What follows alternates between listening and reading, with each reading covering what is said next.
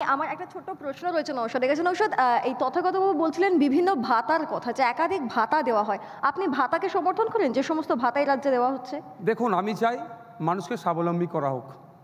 না সেটা কি ভাতাই একমাত্র ভাতার পথ মাধ্যমে সমাধান হয় না। কাজ দেওয়াটা আর একটা পথ হতে পারে? দেখুন একটা কথাই আছে। ইঁদুরকে ধরার জন্য কলের মধ্যে পাউরুটি দেওয়া হয়। খাবার জন্য ভিতরে প্রবেশ করবে তার মুখ বন্ধ করে দেওয়া হবে। আজকে দেখুন না গ্রামে গঞ্জে কী আওয়াজ চলছে? যদি আমাদের শাসক দলের পক্ষ থেকে আওয়াজ হচ্ছে যদি আমাদের দলের সাথে না থাকা হয় ঝান্ডা ধরে মিটিং মিছিলে না যাওয়া হয় এই যে যে সমস্ত ফ্যাসিলিটিসগুলো তাদেরকে দিচ্ছে সেগুলো বন্ধ করে দেওয়া হবে। এক প্রকার হুমকি দেওয়া হচ্ছে। তাহলে সে ইঁদুর কলের মতো আগে ভিতরে নিয়ে যাচ্ছে তারপরে কলটা বন্ধ করবে। ভাতা দিয়ে কোনো রাজ্যকে এগিয়ে নিয়ে যাওয়া যায় না। কর্মসংস্থানের মাধ্যমে রাজ্য এগিয়ে যাবে। আশা করছি আগামী দিনে যে খেলা মেলার থেকে রাজ্যের মাননীয় মুখ্যমন্ত্রী আমাদের অভিভাবিকা তিনি চাইবেন নতুন নতুন কর্মসংস্থান নিয়ে আসছে।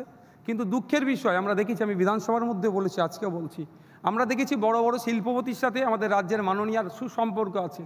কিন্তু বর্তমান রাজ্য দুর্নীতির এমন একটা জায়গায় পৌঁছেছে, তোলাবাজির এমন একটা জায়গায় লেভেলে পৌঁছেছে সেই বড় বড় শিল্পপতিরাও বাংলাতে ইনভেস্ট করতে ভয় পাচ্ছে। আমি এই মুহূর্তে একটু অনির্বাণ বাবুকে ডেকে নিই। অনির্বাণ দত্ত এই মুহূর্তে আমাদের সঙ্গে রয়েছেন। শুভ সন্ধ্যা জানিয়ে শুরু করছি ময়ূক তুমি যতই এই আমাদের তিনজন তিনজন ছজনের মধ্যে ঝগড়া বাঁধানোর চেষ্টা করো আমরা সবাই বাঙালি বাংলার লোক তোমাদের দুজন সঞ্চালককে নিয়ে বলছি আমরা সবাই কিন্তু এই সভার যে মূল যে জায়গাটা তুমি বেঁধে দিয়েছ যে বাংলার ভাড়ারটা শূন্য কিনা এবং বাংলার ভাড়ারটাকে ভর্তি করতে হবে কেন্দ্রের বঞ্চনা যাতে না থাকে এবং আর্থিক দুর্নীতি যাতে না থাকে রাজ্যে।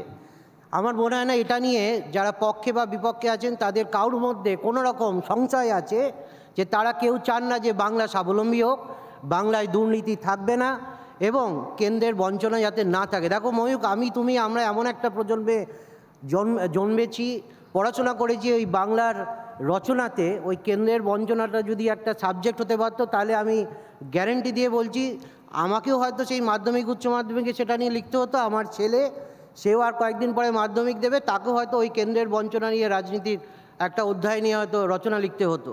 কিন্তু আমরা যে সময়ে বসবাস করছি, সেই জায়গায় দাঁড়িয়ে আমাদের একটা জিনিস দেখতে হবে, যে কেন্দ্রের বঞ্চনা বরাবরই আমরা শুনে আসছি যে সবসময় কেন্দ্রের বঞ্চনা ছিল। এবং আমি জানি না ডবল ইঞ্জিন সরকার করলে সেই কেন্দ্রের বঞ্চনাটা থাকবে কি থাকবে না। কিন্তু তার সঙ্গে আজকের দিনে যেটা প্রাসঙ্গিক, সেটা হচ্ছে এই দুর্নীতি। দেখো, রাজনীতি যারা করেন, তারা তো এই অর্থনীতি আর রাজনীতি এই দুটো জিনিসকে সম্পৃক্ত করে দেন এবং অর্থনীতি, রাজনীতি যতটাই সম্পৃক্ত হন, কিন্তু তার উপরে কিন্তু রাজনীতি কথা বলে। এবং আমরা যারা বাংলার শুভাকাঙ্ক্ষী, বাংলার উন্নয়নের জন্য কথা বলি, আমরা চাই বাংলার এরকম একটা স্বয়ংসম্পূর্ণ আর্থিক ব্যবস্থা হোক আয় ও ব্যয়ের মধ্যে একটা সামঞ্জস্য থাকুক, যেখানে পশ্চিমবঙ্গের যে উন্নয়ন, সেই উন্নয়নের জন্য যে টাকাটার দরকার, সেই টাকাটা যাতে পশ্চিমবঙ্গ সরকারের কাছে থাকে।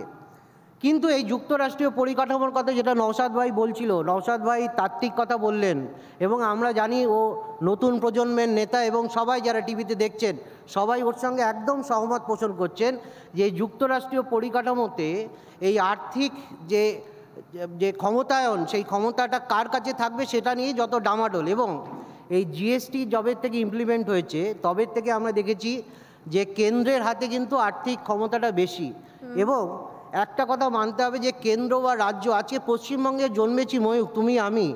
আমরা কোন সরকারের লোক রাজ্যে কোন সরকার আছে কেন্দ্রে কোন সরকার আছে সেটা নিয়ে আমাদের চিন্তা ভাবনা করার জায়গায় নেই। আমাদের দেখতে হবে যে একটা জনকল্যাণমূলক রাষ্ট্রে অন্ন, বস্ত্র, বাসস্থান দেওয়ার যে অঙ্গীকার সরকার করে, সেই জায়গাতে দাঁড়িয়ে কেন্দ্র এবং রাজ্য হাত ধরাধরি করে যাতে প্রত্যেকটা বেনিফিশিয়ারিকে সেই সুবিধাটা দিতে পারে এবং সেই সুবিধাটা যাওয়ার, দেওয়ার জন্য যদি কোথাও দুর্নীতি হয়, সেখানে কিন্তু কেন্দ্র এবং রাজ্য দুজনকে কিন্তু কড়া ব্যবস্থা নিতে হবে।